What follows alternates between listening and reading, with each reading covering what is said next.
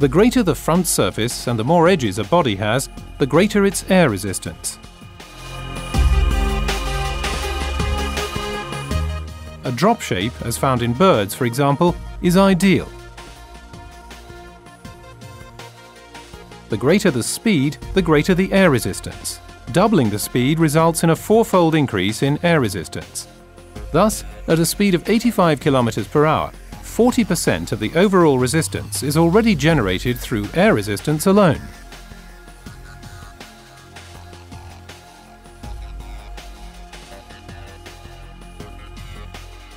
Rounded edges at the front, wind deflector plates on the sides and a roof spoiler significantly reduce the turbulence and therefore the air resistance.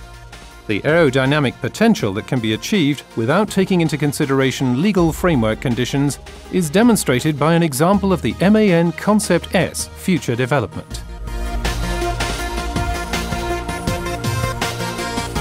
The key features are adaptation of the tractor machine and semi-trailer as a single unit to the aerodynamically ideal shape, reduction of the back pressure on the front of the vehicle, extensive side and underbody panelling, protruding components are minimized. For example, the mirror is replaced by a camera.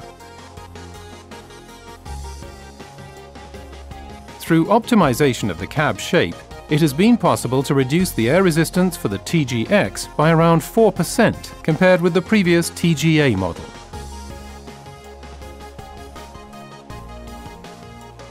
The better the design and adjustment of the spoiler systems, the lower the increase in drag in this area.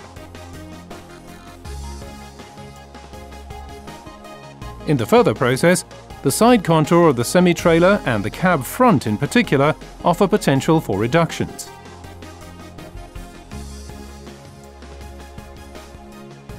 Open bodies such as tipper troughs, platform bodies with angular cargo, or fissured special bodies, for example those in car transporters, cause a high air resistance.